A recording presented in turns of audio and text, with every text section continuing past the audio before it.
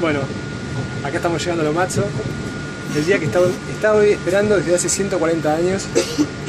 Dedicado a mi viejo, a mi abuelo Ángel, a mi bisabuelo que no conocí y a mi tatarabuelo que tuvo los huevos de subirse a un barco e irse a la mierda sin saber a dónde. Dedicado a mis hermanas, a mis tíos, a mis primos, a mis primas, a Willy, a Willy que me tiró toda la data. Bueno, la verdad es que estamos llegando. Frena, frena, que era. Los campos. Los mismos campos por los que caminó mi tatarabuelo.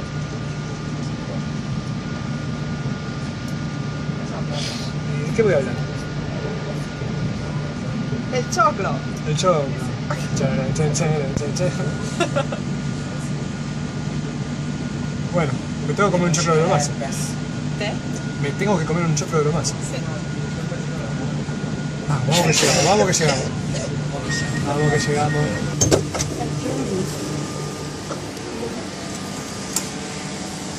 Questo treno è diretto a Como Nado.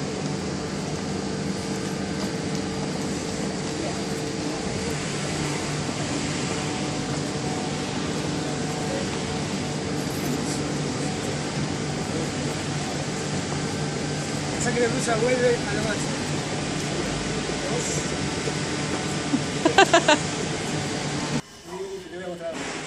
¿Qué? Los ñoquis de lo macho. Camina, De va. acá vengo, de acá vengo. Vení, vení. Questo era il negozio del mio trisnonno.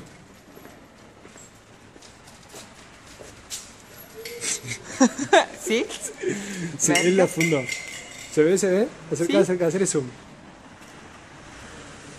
Venía de familia el asunto, ¿viste? Ahí está, corta. ¿Estás filmando? Sí. Sigo en búsqueda de la partida de nacimiento de mi tatarabuelo. Por ahora no la encontramos. Un papelito escrito hace 162 años. Caminando al pueblo de manera a ver si nació en el pueblo de al lado. Pero lo vamos a encontrar.